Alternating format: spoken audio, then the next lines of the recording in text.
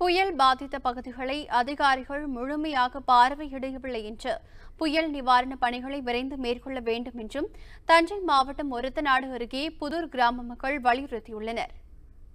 கஜா புயல் பாதிப்பால் மின்கம்பங்களை சரி செய்ய மத்திய அரசு முதற்கட்டமாக இருநூறு கோடி ரூபாய் வழங்கியிருப்பதாக மின்சாரத்துறை அமைச்சர் தங்கமணி தெரிவித்துள்ளார்.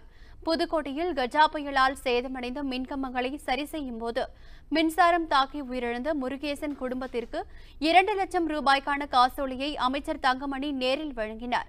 மேலும் பதிமூன்று லட்சம் ரூபாய்க்கான காசோலை ஓரிரு நாட்களில் வழங்கப்படும் எனவும் குடும்பத்தினரிடம் தெரிவித்தார். பின்னர் செய்தியாளர்களிடம் பேசிய அவர் புயல் சேதமடைந்த மின்கம்பங்களை சரி செய்ய மத்திய அரசு முதற்கட்டமாக இருநூறு கோடி ரூபாய் நிதி வழங்கியிருப்பதாகவும் அமைச்சர் தங்கமணி தெரிவித்துள்ளார். இந்த குழுவினர் மத்திய குழுவினர் ஆய்வு பண்ணிட்டு இருக்காங்க. அவங்க என்ன மாதிரியான ஆய்வு திட்டங்கள்லாம் இப்போ தான் சொல்லியிருக்காங்களா?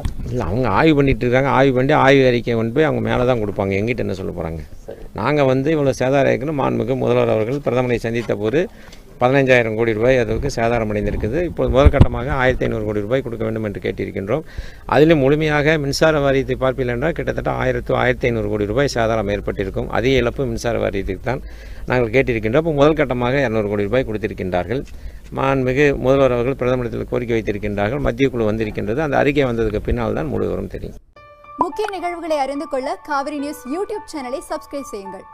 உடனுக்குடன் செய்திகளை தெரிந்து கொள்ள காவிரி நியூஸ் சமூக வலைதளங்களோடு எப்போதும் இணைந்திருங்கள்.